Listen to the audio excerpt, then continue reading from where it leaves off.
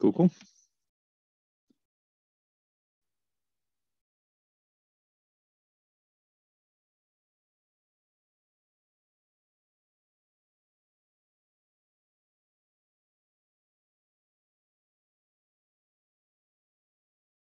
There we go. Wonderful. Have we officially started? We good to go? Yes, we have. Mm -hmm. All right, wonderful. Sorry. Tech troubles, figuring them out. So good morning, afternoon, evening, wherever you are in the world, everyone. Uh, my name is Eric Wolmerink, and welcome back to our daily Lunch and Learn. Uh, a couple of just introduce myself and introduce what we're doing today. Uh, like I said, my name is Eric. I've been with Decisions for, I think, eight and a half years now. I'd have to go actually check my hire date. Uh, but I've been here a while. I, have grown with the company. I've gotten to join when we were relatively small, starting out um, with just a couple of us and actually a pool house behind the Big Boss's uh, Big Boss's main house, and gotten to see us grow to be this enterprise level software that we offer today. So I've worn many hats over the years. Uh, I've done support. I've done professional services. Uh, I originally started writing actually as a junior developer, writing some code. And for about the past four or five years, I've really focused in on training and actually uh, got to go on site training our customers on how to use the product and the best practices and how to basically implement decisions in your environment. But currently, I've actually this year, I've switched over to the product team. And what I'm doing over here is I'm helping kind of guide product direction and roadmap. So I own the roadmap. I meet with our customers and partners uh, to understand needs and feature requests and really just make sure that Decisions continues to be uh, one of the most capable and accessible tools out there. So that's kind of my role. That's what I do. That's what I'm passionate about. And today I'll just be answering your questions and helping guide you in the right direction with anything you have. Uh, so like I said, welcome. This is the Lunch and Learn. If this is your first time attending or you're watching this recording, what the Lunch and Learn is, is it is a daily hour uh, on our lunch break here at Decisions where you get to sit with a decisions expert of some area of the product and ask any questions you want. Nothing's off limits here. You can ask about the company, you can ask about our history, you can ask about your projects, you can ask about blockers you have or how to do something. Uh, a lot of times these sessions are used to help uh, demonstrate either features you're not familiar with, or if you're stuck on or have a question on something on how to do something, we can resolve that or, or take a look at it here. And if we can't, we'll definitely uh, follow up after this call and point you in the right direction. Um, so yeah, we do these every day. Monday through Thursday at least, uh, not on Fridays. And we skipped obviously this Monday for the 4th of July holiday. Uh, but yeah, feel free to attend, pass the word around to your coworkers and colleagues or anyone who may be interested to ask some questions of the decisions folks here um, that, that you would like to get answered. So yeah, if you would like to ask questions, there's a couple ways to do it. You can post them in the chat or the Q&A panel on the Zoom call. You can click those buttons and type them in if you would like. Or additionally, if you go to the attendees panel, there's a little option there to raise your hand. And if you click the raise hand button, uh, we actually can take you off mute and you can ask your question uh, verbally if that's easier as well. And so I'll give you guys a minute to start thinking about your questions and typing them out or, or raising your hand if you want to ask them. And with uh, without further ado, I guess we'll go ahead and get started. We did have one pre-submitted question that came in, uh, which is all around action and visibility rules. So I'm going to start with that one. If nothing else comes in, let me actually grab the chat panel, make sure I didn't miss anything. I don't believe I have. Uh, so I'll start with the pre-submitted question, but like I said, please feel free to uh, chime in here if you want. So the question that came in ahead of time, it says, when you create an action and visibility rule for an item in a process folder, the visibility rule gets called several times when you perform a right-click action on the stored process ent entry. Uh, is it possible to limit that call to only one time? Hmm. Uh, I took a look at this question and started to build it out locally a little bit to see if I could recreate this this behavior. Um, but right off the bat, it feels feels maybe a little bit like a bug, and this is something we'll investigate together. Um, but yeah, uh, normally, and I'm guessing the way you determine this was by maybe running the global debugger and seeing how many times that visibility rule was called, or running the profiler potentially to see how many times that item was called during uh, kind of during a right click action. So uh, yeah, I'll, I'll try it locally. I'll, I'll show you where I got to before uh, the call. I only spent a couple minutes on it and let's see if we can figure this out. But if it is, then that's something I'll submit to the dev team and ask them and say, hey, is there something we're doing incorrectly here? Maybe making too many calls to this visibility rule. So what I've done, this is my local install. And by the way, this is on version 8.2, which is the current uh, current version of decisions. Is it 8.2? Hold on, let me double check. 8.2, okay, correct. Had to double check really quick. Uh, so I'm on the latest version of decisions here, which you may see a couple different UI changes or some some differences if you were on version seven or earlier. Uh, but all I've done, I created a little folder here and created a couple of things. I have a really simple flow execution extension, which ties to a process folder. It is called purchase request. It only has three fields on it, name, amount, and date, uh, just to get some things inside of there. What I've done then is I created a flow that helps me create some of these things in my folder. So all it does is it really just runs, all this flow is really simple. All it does is it runs the setup process folder. And if you're unfamiliar with flow execution extensions, this is how you start to save process data. You, you set up a place, a folder for it to start storing and tracking all the information about the execution of the flow. And then I run a state set state and percent complete step just so that I can get some data in there. And then lastly, what I was working on right before this call is I created a really simple form actually in the simple form designer, which takes the name, amount, and date and allows me to just view them. And I'm going to tie that to a user action. So again, if you're just to keep everyone on the same page, if you're unfamiliar, what you can do with data that's stored in decisions with entities and, and process data and all these sorts of things is you actually get this configuration folder, which allows you to write user actions and, and, and state triggers. If the data hits a certain state, you can run flows that do work on it. Uh, and all I've done is I wrote a flow that just says check details. So wherever I see one of my PR uh, purchase requests, and interestingly enough, I don't, oh, because I already wrote the, the filter action. I should see a flow or a, a, an action called check details. And what check details does is it allows me to run that a little subflow that shows that form I built.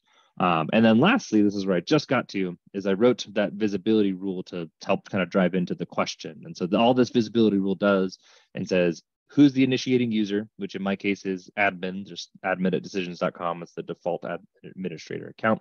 And if it is, then filter out the action called check details. Um, so just to make sure that this works, I'm actually going to change this a little bit, make sure I go see my action very quickly. And actually, it shouldn't matter if this rule uh, passes or fails, to be honest. Um, it should still work. But now when I right click this, um, I'm not seeing my action. So I must have done something wrong. Uh, either way, maybe we're, I got to check something out there. I, I would expect to see my action here. Let me create another purchase request just to test. We'll say we have a $1,200 headset this time. Uh, requesting it yesterday. Someone requested this, go. And I see this here. Yeah, not seeing my custom action, which is interesting. I'm wondering if my rule's doing something that I uh, am not intending. But either way, let's dive into the question. The question is, is when you perform a right click action on your stored data, such as when I right click here and see these actions over here, uh, that visibility rule is running multiple times. How would I know that? How would I determine uh, whether or not that's the case? Well, in version seven and eight, there's a tool you can use called the global debugger.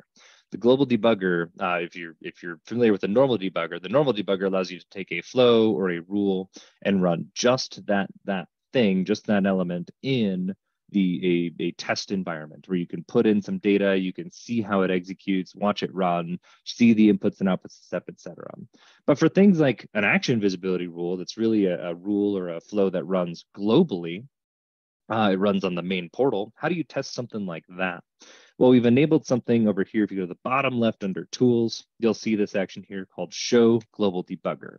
And this will pop open a new tab. And the moment I click this toggle on, it'll start debugging all actions and all flows and all rules and reports and, and dashboards and anything that runs for the entire portal. So you got to be careful with the global debugger because it's going to start tracking everything.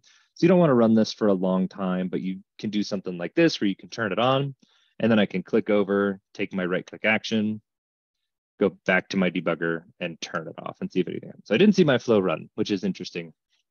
Let me make sure the global debugger is working. Click over, let's go run a flow just run it, not debug it, put in some more data here,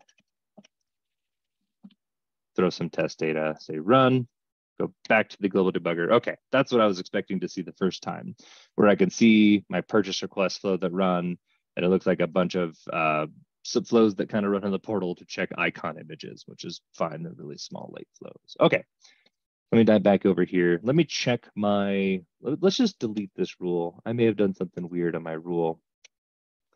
But over here, I have my action visibility flow, which all it does is for a user action says, show my form, shows the data, and then closes this form. It doesn't actually save it to the database. I delete that rule. Do you work? No. Interesting. I must have done something really, really wrong. Do I see it in here? No, I do not. Okay, okay, fascinating. Let's try this one more way. Maybe it's not showing on this because this is the default folder actions. Let's go ahead and create a report of my items because uh, this actually will show the user or the action context for the data. This might work. Okay, okay. Purchase request report. Nope, sorry. Let's go report on purchase requests. Let's add fields here for the things that I care about, which in my case were my name and my amount and my submitted date. Oh, oh my gosh, I am so silly. I know exactly why this isn't working. Uh, cool. Uh, let me just finish this here, which a request date is what I called it. R. R, R. There we go. Cool. So here's how I figured this out. I have no data in this report, meaning that my purchase request data is not getting saved to the database. And this is because I was trying to build this too fast. And when I use my create feature request step under setup process folder, I'm actually not saving my extension data. Uh, I was just creating a generic process folder that tracks just the generic data about the process and doesn't actually save my specific data. So that would make sense. Let's go ahead and start tracking purchase request data uh, which I hand in from the start step so I could pass that whole object in. Now, when I run my flow, so purchase request number four should save this request data to the database. Cool. Uh, this time we're going to ask for a $250 chair. Request on today. Go ahead. Cool. Aha, perfect. Now I see my action. Wonderful. Okay, I feel much better about myself. I was, I was going a little crazy there. Uh, but you can see here, this is the the first three requests that aren't tied to my purchase request data don't have my custom action but my fourth one here that is has my check deal details actions shows my form shows all the information here. Good to go. Now let's go back to my purchase request configuration folder and create that visibility rule. Uh vis oh sorry over here. Action visibility rules uh really are just hide and show action rules that allow you to show or hide actions based on any condition, either based on the user, the groups they're a part of, or what the data has inside of it. You can show actions based on the certain data that's part of your object, whatever. You can write a rule that takes any part of that, that information and determines when to show actions. So we're going to say hide action or show details or check details. And these rules are relatively simple to set up. They really, uh, if it returns true, it's going to filter out or not show the action. And so first you're going to say, what action are you trying to hide? So I'm either hiding the action by what category it's a part of or what the name is. Uh, so if I say if the action name is check details. Cool. Uh, I guess I could leave it like that because that's just going to run. Uh, but normally you would add another another set of conditions here. So if the action is check details and uh, the initiating user's email, you know, equals the admin account, admin at decisions.com, or maybe they're part of a certain group or whatever. Um, maybe you're looking at the data of the, the purchase request itself, doesn't matter. All I know is that now I jump back to purchase request four where that action was previously being shown, action's not shown. Okay, now I'm at a testable state. So let's go back over here. I'm going to turn the global debugger back on. I'm going to right click here, which means that the action should have run. And then I come back over here. Ooh, and I say off, and I see exactly what you're talking about. Looks like that that action was run, ooh, 10 to 15 times here. Um, yeah, so 100% correct. Now, I, I, I understand based off of what this is looking at here, why uh, why you see this run so many times in the debugger.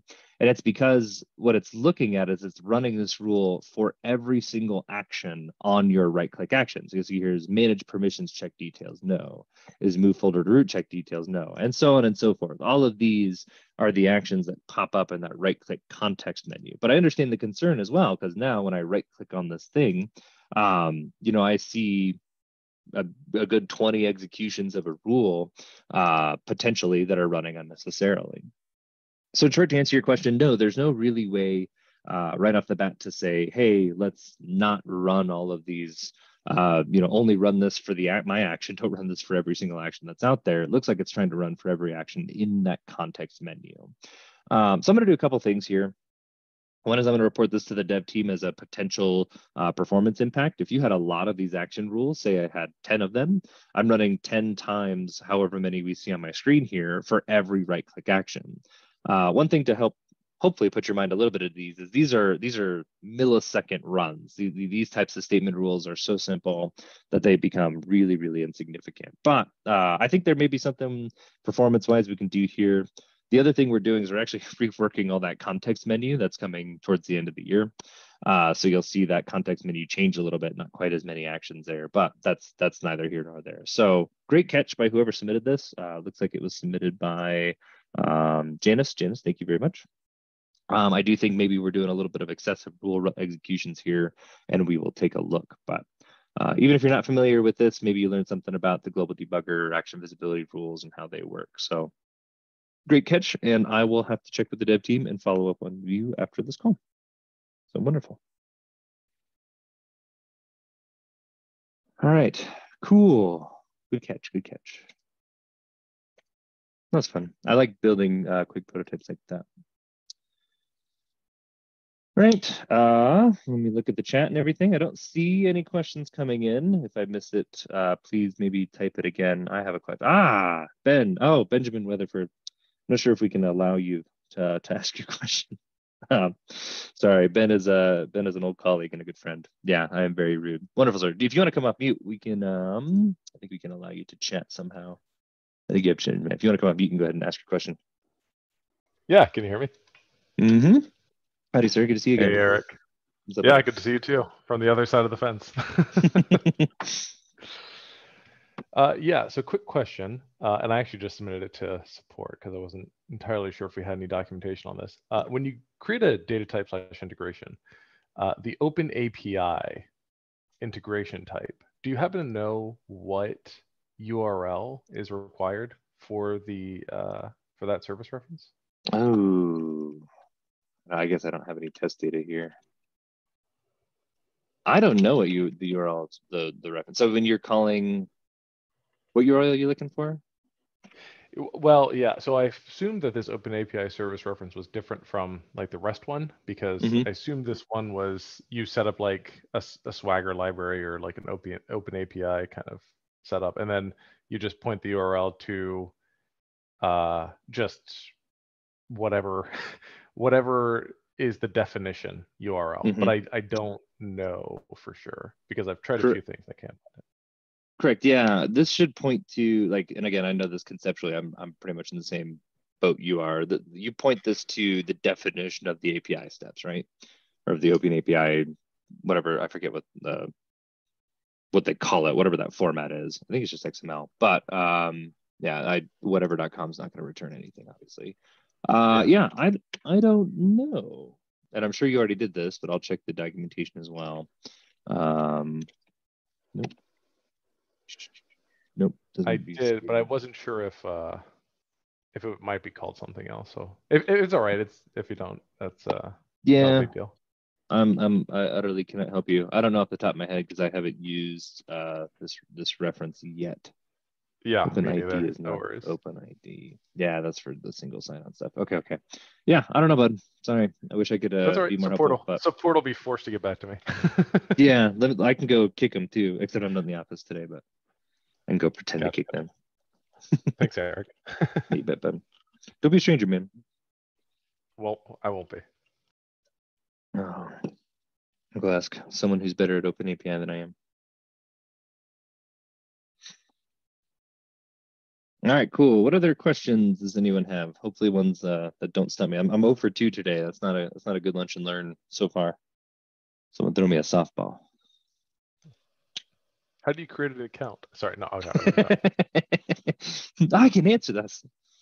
That's good. All right, cool. Um, well, I still got plenty of time. What I'll do, let's do this. Uh, I do have our product roadmap up and ready to talk about. Let me let me just talk about a couple of things coming down the road for those on the call that may or may not be exciting. Ben, I'd actually, I'd actually, since you're on the call and I can call you out directly, I'd love to hear some of your opinions on this. Maybe we can set up a call after, or uh, we can talk about this later. But let me talk about a couple things coming down the pipeline that are really important to decisions. I'm actually going to jump back a few slides in this presentation uh, that are really important to what the future decisions is going to look like and how it's going to behave. Um, so a lot of things happening here, and I'll, I'll look at the roadmap a little more specifically. But let's talk about these things. Uh, yeah, version 8 is out if you're not familiar. Version 8 is a huge, huge release for us because it changes one core thing about decisions, which is how we are hosted, or rather one of our hosting options that you can install decisions to. So normally, or traditionally, you've been only been able to install decisions on a Windows server with a SQL Server backend. Uh, we first removed the SQL Server requirement by adding Postgres support. So now you can install to Microsoft SQL Server or a Postgres database, and that's in version 7 and 8. And in version 8, now you can install instead of to a Windows operating system to a Linux container, which is a much more flexible, much more lightweight uh, hosting kind of uh, setup. So you can install to a lightweight container, and that allows you to dynamically scale both horizontally with more nodes in a cluster uh, very quickly or vertically by adding more resources and taking down resources significantly faster. Uh, it drops your hosting cost by by about 40% uh, based on the traditional model. So that was a huge change for us, and it took us a couple years uh, to rewrite the underlying architecture and code to get it to this point. So what does that look like for the rest of the year? How does that impact us moving forward? Well, the big things we're going to be focusing on now is the designer experience and performance. So the two things we're targeting moving forward are continuing to improve the speed, scalability, and flexibility of decisions while also improving the overall designer and user experience to make things a lot better. And so one initiative for that latter half for the uh, for making the designer experience better is we're fixing and rewriting a lot that is currently uh, struggling. People are struggling with the repository. We're going to be renaming it the deployment server, and I'll talk about that in a sec. And we're gonna we're gonna change the way that developers kind of conceptualize and build work and decisions by tying them all to projects. And we're going to add this new project view as part of the designer experience. So what this is going to look like is when a user logs in, no longer is it going to be a massive monolithic folder tree like you see in the screenshot on the left-hand side, which is a bunch of work that the developers are expected to maintain and organize and keep track of. That is now going to be broken out into discrete projects, or you can think of them as boxes where all the work is going to be contained inside of. It allows us to do a couple things. It allows us to, I'm going to skip a few screenshots, allows us to organize work uh, a little bit better. It allows us to run uh, more discrete flows as part of the process, like checking the health of a project to understand what, what how uh, best practices are applied, whether you have unit tests applied or if there's validation issues or, or missing dependencies or, or, flows that have error handling. And then it allows us to deploy these things significantly better. So project view is coming. And you'll see on the left-hand side, you still have your folder tree, uh, but when you log in, you'll now see a, a, some big boxes of all the projects you have access to, and you enter into that project. And inside of here, we'll do some default organization for you. You can create your own organization folder tree, but everything's going to be contained inside the project. So a couple ways that changes the developer experience is one, now when you're building, you're only going to see and experience things that are inside your project or, a, or uh, that your project is tied directly to via dependency. So when you go to add a data type to your flow or you, you have a create data step and you choose a data type, when you go to the data type selection screen, it no longer will be every data type in the system across all projects. It will be only the data types inside your project. Same for calling subflows and forms. You go to pick a sub a subflow and you'll only see a subflow that's part of your project that you're currently working on.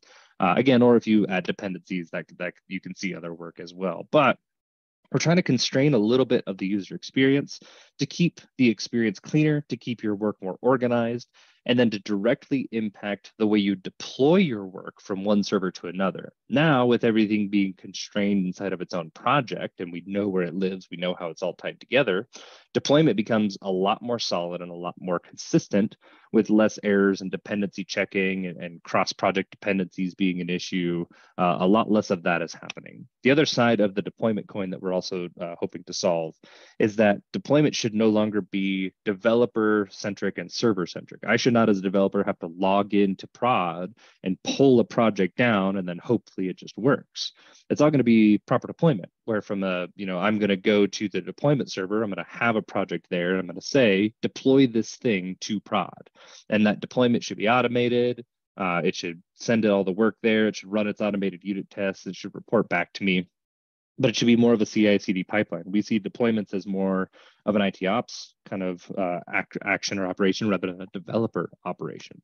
And so those are the two things we're really, really focusing on for the next year, along with some rework around um, some some database integration stuff, and in the future, early next year, some flow designer rework as well, where we're kind of reconceptualizing the steps and how you interact with them, how you can create subflows from groupings of steps, and more importantly, how you visualize and map data across multiple steps um, instead of uh, instead of just having less capability to do so. So some really cool things coming down the pipeline, uh, and you'll see them kind of uh, reflected here.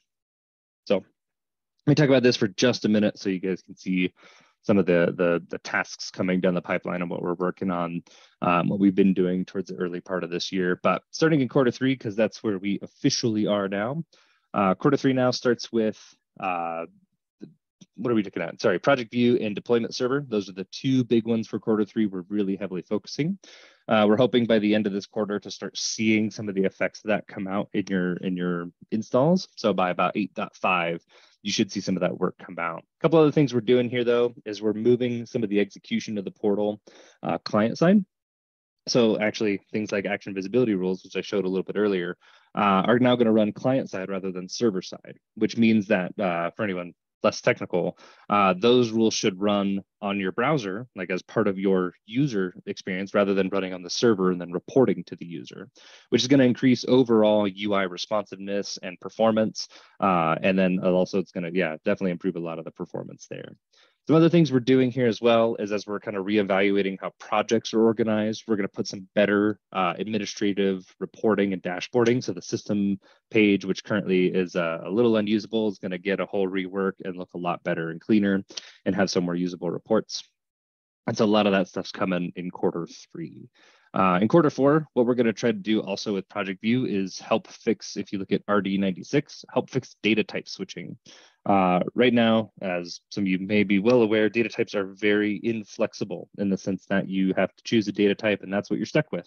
You want to change the properties or change uh, what structure you're using, you can't. Uh, unfortunately, you have to create a brand new one and then go back and retroactively make all those changes. Now, uh, we're either going to add attributes to the structures that say, I want this database stored, or I want this stored in the decisions folder tree, or whatever it may be and you can turn those on and off, or we'll just allow you to switch data structures and all the mapping will maintain this, will be uh, maintained and keep itself consistent. So we're going to be looking at that towards the end of the year. And then you'll see some of that flow designer re stuff down on the bottom right that I showed the screenshot for uh, start to come out at the end of the year as well. Uh, if you have any questions on any of those R&D tasks, feel free to speak up and we can talk a little bit more about it. Uh, but moving into next year, some things that we're going to be doing. One thing I'm really excited about is a non-edit experience for for designers. So right now, if I wanted to look at a flow and visualize all that data, you kind of saw that that's something we care about. Um, I can't. You can either see that the flow exists in the portal, or you can have proper edit access to go in and make significant changes to it. We think there's a permission level somewhere in the middle where you want a developer, you want someone to be able to open a flow and click through the steps and see the data and debug it and make sure that it works, but you don't want to allow them to save any significant changes. So we're gonna have a non-edit designer experience, which means that you can go into flows and click through them and see them, but you actually can't click the save button. Nothing you do, you can't make any significant changes to the process itself. Uh, so that's going to be something we target for early next year. And since we're already looking at this capability of uh, you know a new edit experience or a new kind of ex- uh, designer experience. Uh, we're also going to explore potentially having multiple users exist in a single process or a single flow and be able to work on the flow at the same time. Uh, i know there's some considerations and concerns there so that's something we'll be evaluating towards the beginning of next year and see if that's something we want to add. And then as the year goes on we're really going to be focusing heavily on kind of uh, cleaning up some some of the designer experience and user experience and making things a little bit more accessible.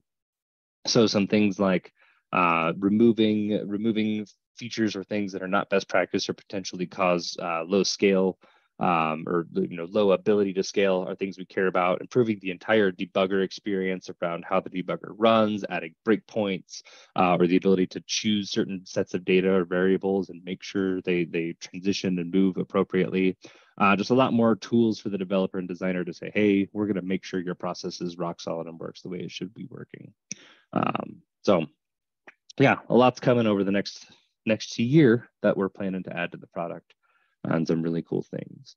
Uh, keep in mind that these slides are part of a, a, broader presentation we give related to our product roadmap. Uh, I actually personally give that presentation every other Thursday. Uh, so if you're interested in joining any of those, you can shoot me an email, eric@decisions.com, or uh, you can shoot your CSM an email or support an email. They'll know how to get in touch with me to get you added to those calls. But yeah, it's every other Thursday, and I go through this roadmap in a little bit more detail, a little bit more intentionality about the why and the uh, and, and the hows of what we're going to be doing here. So. Uh, but some really cool stuff's coming. I'm, I'm I'm super excited about Project View. I think it's going to really uh, kind of uh, change the way developers conceptualize and build projects for the better, uh, so that things become a lot more consistent uh, with a lot more best practices applied out of the box. So some really cool stuff's coming. Excuse me.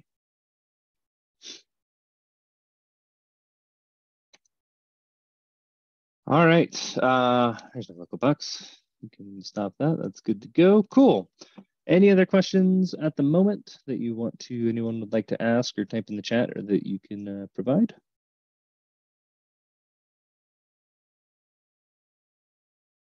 Going once. All right. Uh, well, cool. Well, that's all I had today. So, yep, keep in mind, tell this to your colleagues. Please feel free to join future Lunch and Learns. Ben, it was great to see you, sir. Uh, I'd love to catch up next time I'm in town. But um, otherwise, I hope you all have a wonderful day. Enjoy enjoy your what is today? Wednesday. uh, have a good week, and we will catch you at the next lunch. So take care, everyone. Have a good day.